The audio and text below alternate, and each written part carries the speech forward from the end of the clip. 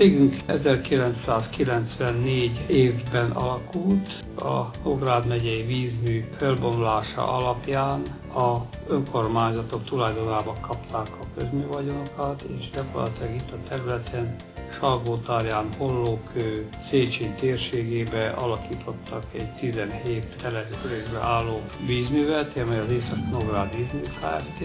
A cégnek az volt a alapítás célja, hogy a vízellátás és a csatornázás szolgáltatás itt a területen ellássa. Itt az Európai Uniós csatlakozás kapcsán számítunk arra, hogy a térségbe is kiépül egy komplex hulladékkezelő. Mindenképpen számítunk a későbbiekben, hogy ez egy korszerű, gazdaságos megoldást fog jelenteni, és sor fog erre kerülni.